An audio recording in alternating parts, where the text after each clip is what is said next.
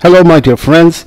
The purpose of this video is to encourage the beginning phacosurgeon to handle rock hard cataracts by phacoemulsification and not simply fall back to a small incision cataract surgery.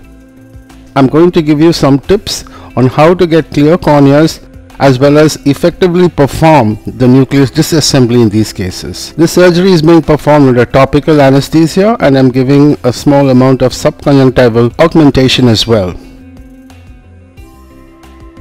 Although I would definitely recommend that the initial surgeons perform this case under a peribulbar block. Now this is simply because the surgery is going to take a longer time than normal and there is also a higher risk of complications occurring during the procedure.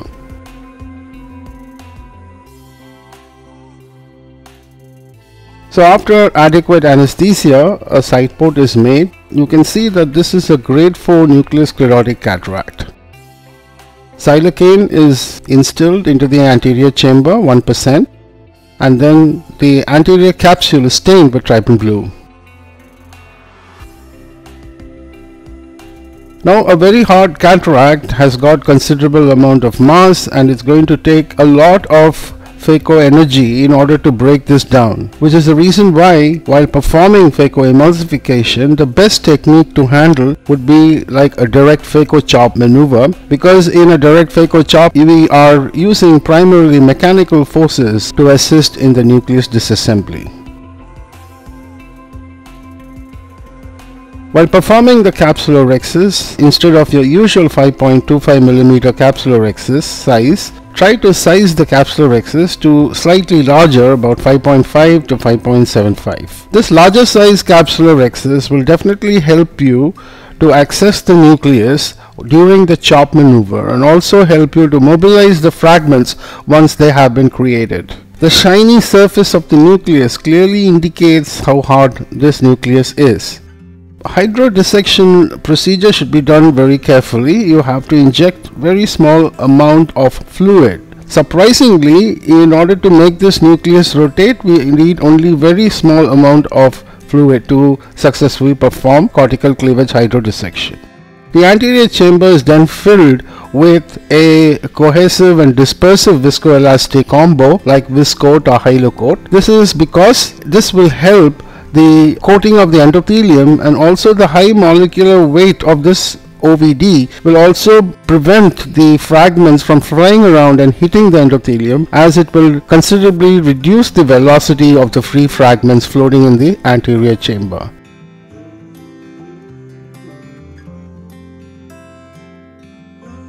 Expose the phaco needle to about 2 millimeters because we need to bury the phaco tip to at least 2.5 millimeters into the substance of the nucleus. Make a almost vertical angle of approach, impale just anterior to the center of the nucleus and once you go to the adequate depth, make the initial chop. Now just try to initiate the chop, do not try to go through and through at one go Sometimes you may just end up with a small superficial crack, it does not matter. If this happens, you need to just rebury the phaco tip once again and attempt the procedure, this time burying the tip at a deeper plane. If you see that the nucleus is rotating while initiating the chop and lateral separation, it means that you have not buried the tip to the sufficient depth. So if you have got a sufficient amount of depth to which you've buried the phaco tip and then when you initiate the chop and the crack you will find that the nucleus will not rotate while attempting the crack as well as the fact that the fragment will separate easily and you will also be able to get a through and through chop that goes right to the posterior plate.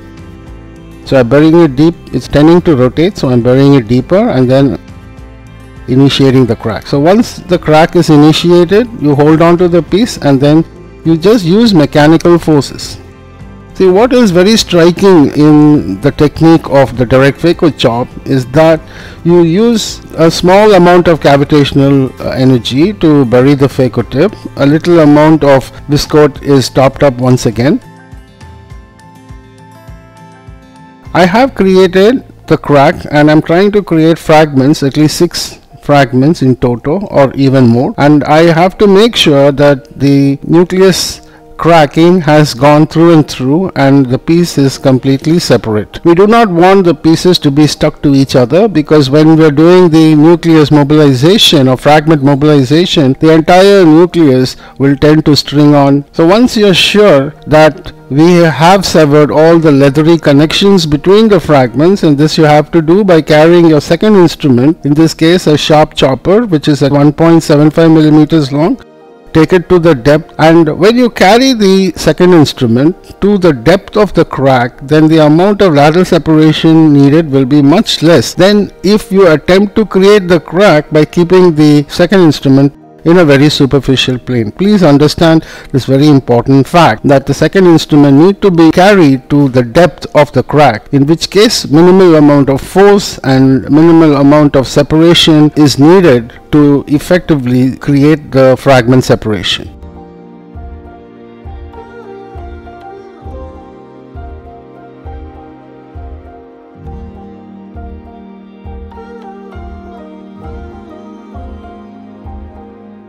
Now once the fragments have been separated, mobilize only one fragment at a time, bring it to the central portion and emulsify it. I do not use continuous phaco mode. I prefer to use the multi-burst mode in phaco. It is extremely effective.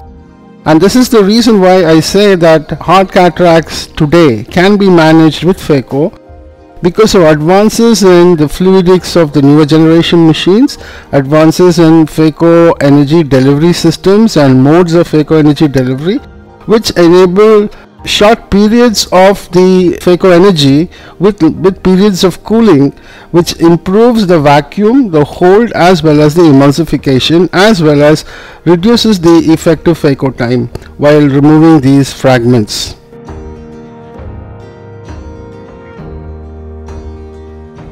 Each fragment is individually mobilized, brought to the center and only one fragment at a time is removed.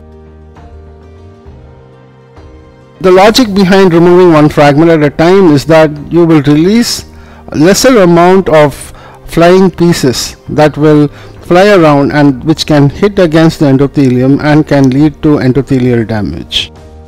Also, do not wave around the phaco tip inside the eye keep it steady in the center and allow the pieces to come to it.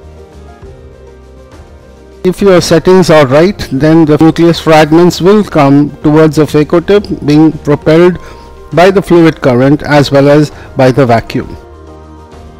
Now when you come down to the last piece you see that at regular intervals I have been topping up with viscoat to protect the endothelium I would advise that after every one piece of fragment that you remove, you can put in viscoat. So this rock hard cataract which was huge, black and extremely dense and leathery is completely managed and what you saw is a unedited version of the nucleus management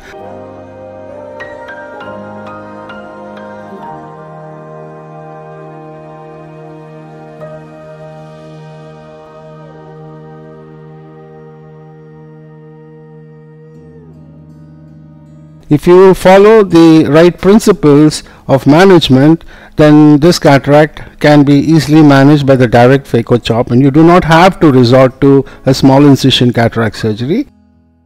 So you have to raise the bar in your own surgery. You have to move to the next level and be confident in performing phaco even in hard cataracts. The final step is the implantation of the intraocular lens. This is uh, a hydrophobic acrylic lens that is implanted using a silicon plunger system of injector which uh, pushes the entire lens into the anterior chamber and you need to settle it into the capsular bag.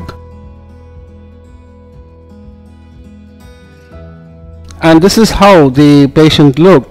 This was 30 minutes after the surgery was completed. After I finished my list, I saw them in the OPD. The patient had an unaided visual acuity of 6 by 12. The cornea was clear, the anterior chamber was free of anterior chamber cells or flare which was very very minimal to negligible. The patient was extremely happy. The surgery was done under topical anesthesia and the patient was sent home without a patch with just dark glasses. I thank you all for your attention.